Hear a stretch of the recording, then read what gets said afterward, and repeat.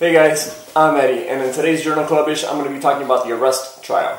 I like all these sexy names for trials because it helps you kind of remember it, but how they derive it is always kind of interesting because, like, for example, the A in arrest is from the adjunctive, the R is from rifampicin, the other R is all the way in the aureus. At least I think this is how it is. The E is also from the aureus, the S is also at the end of the aureus, and uh, the T is from the, oh, right? Is uh, yeah, and then the T is in the bacteremia. So it's kind of cool how they did that. Um, it's always cool to have a sexy name because like that you'll remember the name of the trial. So the title of the study, the arrest trial, is adjunctive rifampicin, and yes, I'm reading it off my computer screen for Staphylococcus aureus bacteremia. And the cool part about this is it's a multi-center randomized double-blind placebo-controlled trial. These are like the sexiest studies, so this is why it's an awesome study. This article was published on December 14th, 2017. Right now it is December 2017, so this is brand spanking new. Uh, what I always like to say about that is whenever you watch this particular video might not be December 2017, so always take this into context with the information I relate to you because data changes. So always keep up with your data and watch more Journal Clubbish videos because they're pretty cool. This was published in Lancet, which is one of the bigger journals. If you're not familiar with the Lancet, you should be. It has a pretty high impact factor, so it's one of the important ones. It's also a free article. I'm going to try to show you guys free articles because like that you can read it yourself. And I always encourage you to read these articles on your own and don't take my word for it because these are my interpretations and I'm not a research guy. So why is this this study so so so important that I'm sharing it for you? Well, first of all, staph is everywhere, everywhere, everywhere. And it's ubiquitous in the ICU.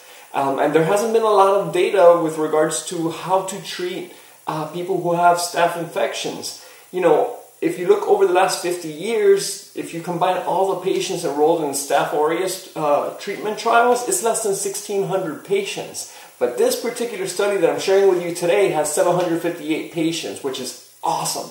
Now, I practice in a in an ICU that's in the United States. Um, and basically, the way that we practice here, remember, this is December 2017, this is not a guideline, this is just the way we do things. Uh, we pretty much, everybody who we suspect has a staph infection, we just give them vanc, pretty much empirically, uh, for the first 48 hours or so until we get, you know, the cultures back, and then instead of hitting them with a nuclear missile, we kind of sniper them and just give them some nafcillin or something that's going to be a little bit less nephrotoxic.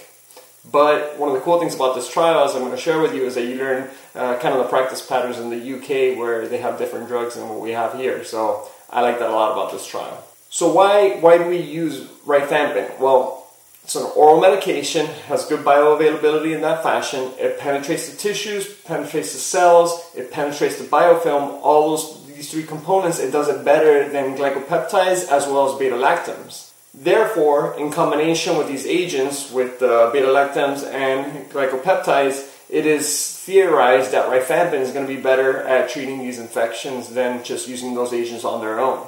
So you might be saying to yourself, like I was saying to myself when I saw this study, hmm, rifampin, I'm pretty familiar with this medication in terms of I've heard about it before, but I don't use it a lot in clinical practice. But just just as key buzzword to remind you what rifampin is, that's the one that turns your saliva, your tears, your urine, your stool, it turns it this this uh, orange color. And and remember, this is the one that can stain the contact lenses. That's the part that's a, like a board question. So just remember those sexy terms about rifampin. As I always do, or as I always will do, I'm going to tip my hat to the people who actually wrote this study and who actually developed the study because they they are awesome, and uh, this is this is a really well done study. But why did they do this study? Well, as I mentioned before, there's a lot of mortality and morbidity associated with Staph aureus infections, and as I mentioned, Staph aureus is pretty ubiquitous these days.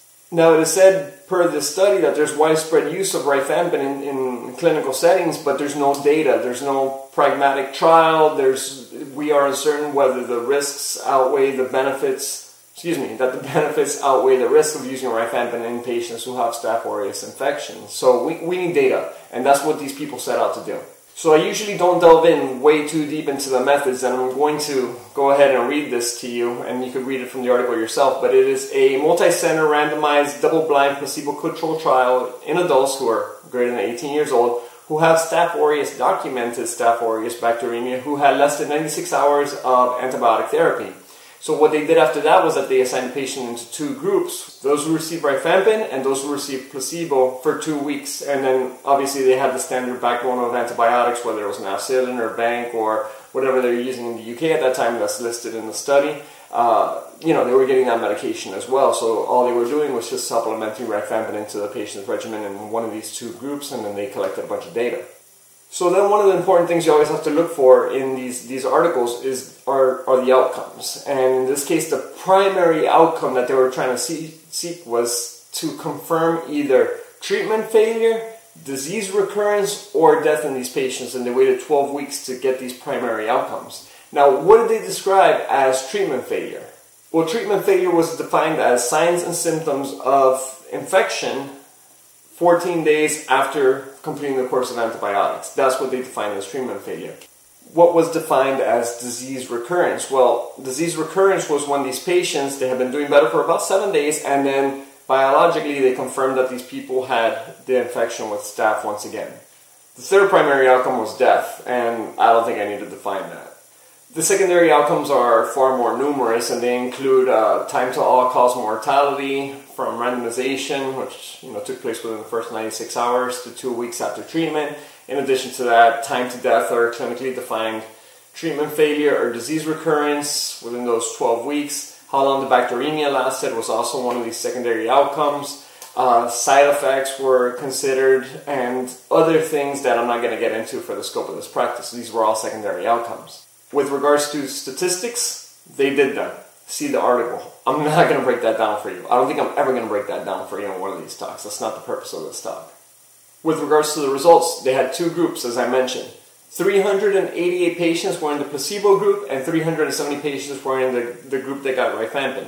One of the things I found interesting about this particular article was amongst their Staph aureus infections, 64% of them were community acquired, uh, only 17% were nosocomial and only 6% were MRSA. I think almost all my patients who I have in the ICU, well, not all of them, but the majority of them have MRSA. So just just a little bit of epidemiologic changes or differences between UK, where these studies, where the study was performed in 29 centers, and stuff that we see here in the United States, at least in the shops where I've practiced. They found that there was no statistically significant difference in any of the composite primary or secondary outcomes. That was one of the main results of this particular study. What does that mean? Mortality wasn't different, duration of bacteremia was indifferent, development of uh, basically uh, rifampicin resistant Staph aureus wasn't different, but it was associated with a small but significant reduction in bacteriologically and clinically defined disease recurrence. That's what it did notice. Of these patients in the study, for the sake of ICU, which is what I do, only 9% of the patients in the study were ICU patients. 40% of these patients had what was considered to be a deep-seated infection. And what I mean by that is, or what they defined as that, was people with endocarditis, uh, basically patients with intravascular devices. In addition to that, patients who had, for example, uh, intraarticular devices, osteoarticular devices, things of these nature, 40% of these patients had these particular issues. Now, there was a hypothesis before that adding rifampicin reduces dissemination and therefore death of the Staph aureus, but this was found to be false. But they did have findings that these people who had these deep seated infections, as I mentioned, it reduces disease recurrence in these patients. But these, these effects were very modest, as the authors defined it. So you have to kind of do the risk benefit as to whether it's worth, worthwhile to add rifampicin in these patients. As I mentioned, very few patients of that group had MRSA, but they did find that there was no benefit of adding rifampicin to the patients who had MRSA versus those with placebo. So what did the authors conclude from their study? Well, I'm going to read this to you, but adjunctive rifampicin did not improve outcomes from Staph aureus bacteremia, with the exception of a modest reduction in disease recurrence. The authors also discussed how rifampicin did not have any effect on either short-term or long-term treatment. They figured that there's no benefit to giving this over standard antibiotic treatment because of a number of issues. It complicates the management of other medications. It also creates resistance to, for example, Mycobacterium tuberculosis. You know, these patients need this drug, and if we have more resistance, then we're going to have a problem. So how does this change my practice? First of all, I don't write for Rife rifampicin. I've never written for it. If I have somebody with aggressive Staph aureus bacteremia, I'm going to call my buddies from ID and have them come and take a look at the patient and do what they do best, which is kill bugs. But one of the things I like about this article is it allows for more academic discussion uh, with my colleagues. I like to nerd out, and as you're probably learning, I like to read a lot of papers. And it's, it's always cool to present somebody from a different specialty with some literature from their own specialty that they may or may not have been privy to, especially something as you know revolutionary. Well, not necessarily revolutionary, but it's something as important as this particular study. Um, just to say, hey, by the way, we have this patient with Staph aureus. What do you think about the arrest trial? Have you read it? And then it, at least some some sort of discussion, uh, which which I always enjoy having. But all in all, it's not really going to change my practice, but it also gives us a lot of information and insight as to how to treat patients who have Staph aureus bacteremia, and it tells us that we don't necessarily have to use rifampicin. All in all, I appreciate you guys watching this video. If you haven't subscribed yet, please go ahead and do so. Give us some thumbs up. If you have any articles that you want me to review for you and make a quick little video like this, just send me a link in the comment section below. Follow me on Instagram, write to me on Twitter. Let's have an academic discussion here. Let's break down these articles and let's let's just have a good time. Thanks so much for watching. This is Eddie saying bye. I almost up the peace out, but whatever. Bye.